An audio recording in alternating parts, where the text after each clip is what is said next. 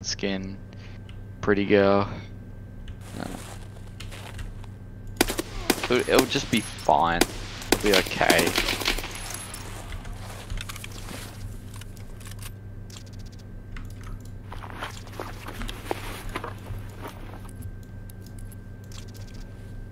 Holy shit, I just killed an absolute gamer in Tarkov.